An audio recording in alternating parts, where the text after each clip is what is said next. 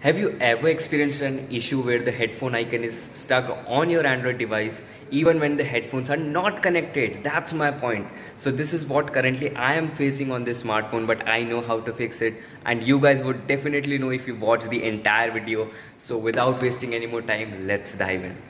It's the headphone icon you require and matchstick and a cotton ball. Simply use the matchstick and the cotton to make something like this simply wrap the cotton on the back side of the matchstick and simply clean the headphone jack from here uh, do this very gently mm, and make sure you are cleaning it properly like spin it.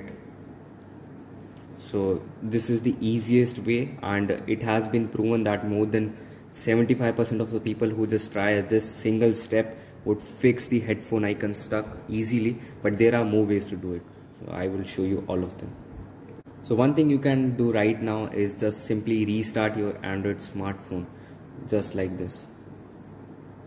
So here's one more thing you can do. Suppose uh, if you if the headphone icon is constantly showing and nothing is working simply plug in the headphone pin again into the headphone jack and simply restart the device now.